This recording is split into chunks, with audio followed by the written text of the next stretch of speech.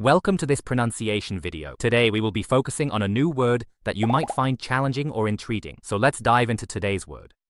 Ne, which means Ne tilde in Japanese. let's say it all together. Ne. Ne. Ne. One more time. Ne. Ne. Ne.